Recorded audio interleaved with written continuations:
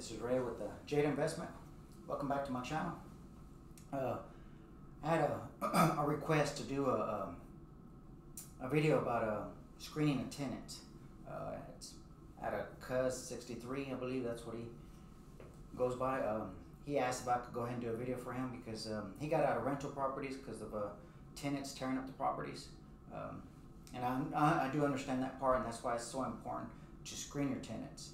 Um, my mistake was to purchase a duplex right now that I put purchased a year ago, about a year and a half ago. Uh, it had tenants in it already, and bad tenants.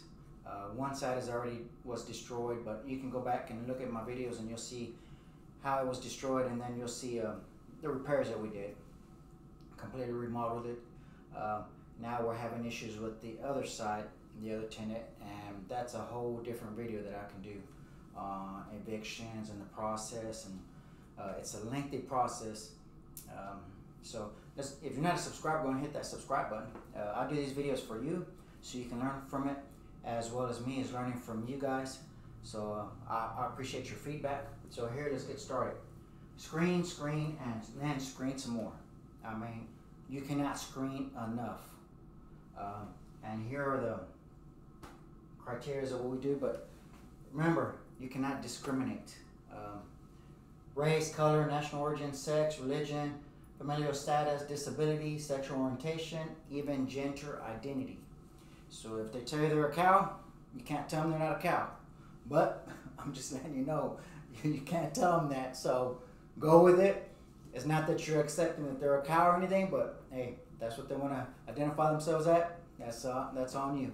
Um, so let's go ahead and get started. Your eviction history. You're gonna check your eviction history. If they even have one eviction, at I mean that should be a, a no. Reason why? Because if they had an eviction, they're gonna do it again. It doesn't matter if it's five years, ten years, fifteen years, twenty years. They are going to do it again. Just, that's just because if they didn't have that eviction, they would have been okay to go ahead and get out when you told them to go ahead and move out, whether it's cash for keys, which is something I offered also on this one.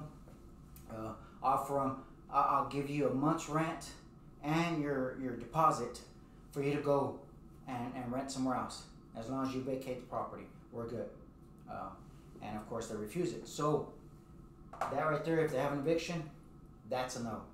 Uh, here's the deal you have to have your rent criteria it's got to be written down.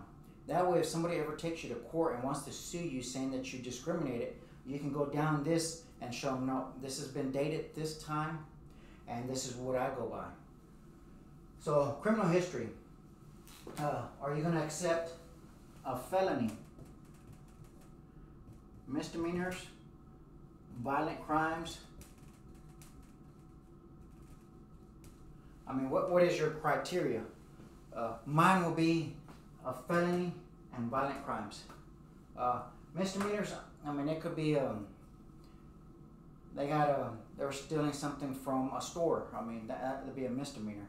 Um, a PI, um, public intoxication, but that's not a misdemeanor either. Um, so a felony, I would say a no.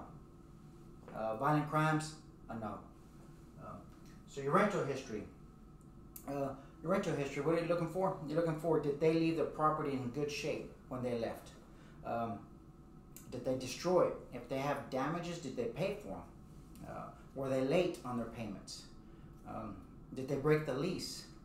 Uh, did they threaten the property manager? Um, even, and, and this is a big one also, is, is do they have lawsuits against the owner? I mean, do they have a lawsuit against the owner? Is there what is the rental history? That's what you want to look for. Late payments, damages to the property. Did they pay for the damages and so on? That's what you're looking for in the rental history. Are they constantly late on the payments? How many times did they break the lease? Uh, so then, of course, breaking the lease will go back to the eviction, unless they accept the cash for keys. Then you won't have an eviction, but you'll have breaking the lease. So that's what you want to look for. Um, income verification. This is one that it needs to be three times the rent.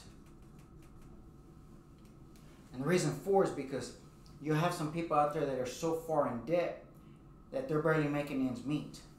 So you want to make sure three times the rent. This might not be able to do it in, in New York, California, where the rent is extremely high. Uh, you might have to lower it down to two, two times the rent. And in some of those places, it's illegal to do three times the rent. So you might want to check your local laws and, and state and see what that is. Um, your employment history. How long have they been on the job? Have they been there a year, um, two years, ten years? What what is it? Uh, of course, you might have some uh, newlywed couple that just got out of the home and they just got married and they haven't been in the job for six months. So that's just something you're gonna have to look at and see what, what that is.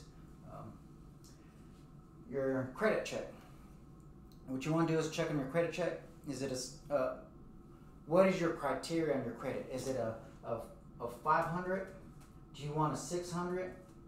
And of course, if it's a 700, you're not gonna get that because if they had that, they're gonna go buy a home. If they have this, they're gonna go buy a home. So if they're in the 600, 500 is kind of bad, but you know, 600 is the, the, the good one. And then uh, credit check, are, are they late on payments? Uh, repos, uh, do they have any repos? Uh, they need charge-offs, um, charge-offs with the property manager. So in other words, this will go back because if you have charge-offs on, for instance, in this one, on the rental history, if they were late on payments, didn't pay, and they got evicted, you're gonna have charge-offs on here. If they did damages, the owner is gonna go after them for the damages. So this is gonna be on here as well. So if you have that, then of course, that's a no. If you have any charge-offs, um, say they have, um, if the credit is at 500, I would say no. But you're looking at all this. All this has to go together. If they have, say for instance, employment history is only six months, nah, their income is two and a half times the rent, but everything else was good, that's something you're gonna have to decide, hey, is, is this a good fit? You're not gonna have all this perfect. And if you're looking for perfect, you're not gonna have a, a tenant in there. And here's a big thing also. It's better to have a vacant property than to have a bad tenant in there. So don't get so desperate that you have multiple of these of, of X's at red flags and you're just desperate to put somebody in there and you let them in there. Now they're damaging your property and now they're not paying. Now you're gonna have to go through eviction. Eviction is, is very expensive. That's an expensive process. It is cheaper to pay them that month's rent to get out than to go through the eviction. Um, in fact, I'll do a, a, a, video for eviction so you can see how expensive it is, how costly it gets.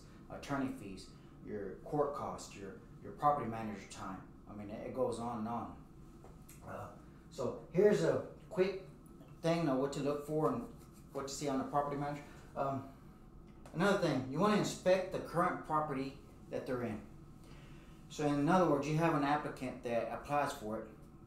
You can tell them to go ahead. Uh, uh, do you mind if I go to your house and look at the place that you're living in right now, and do a surprise check?